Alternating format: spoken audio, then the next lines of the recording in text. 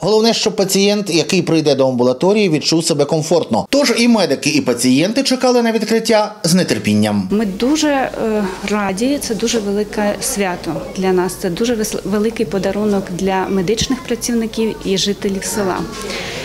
Створені, е, можна сказати, ідеальні умови для надання медичної допомоги. Тому що нова амбулаторія обслуговуватиме понад дві тисячі пацієнтів радіє і перша заступниця міністра охорони здоров'я України Ірина Садов'як. Це вже нове приміщення, не пристосоване. Це гарні умови праці для колективу і це гарні умови для пацієнта, тому це дуже важливо.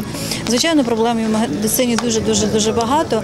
Але Коломийщина одна з тих Івано-Франківської області і в державі медичних закладів, які розвиваються. Покращить якість медпослуг і новий автомобіль. коли я бачу таке гарне сучасне медичне приміщення, інфраструктурне, машини. Згадується, що декілька років тому, коли тут нічого не було, котлован рився.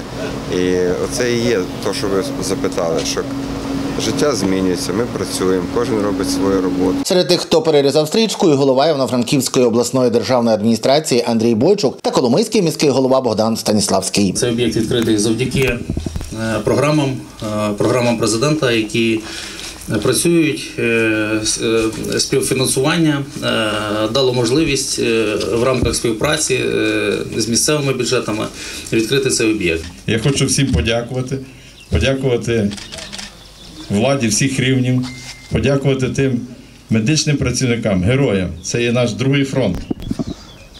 І ви молодці. Із Корнича Коломийського району Богдан Малецький, Галина Ровенчук, телерадіокомпанія Раї.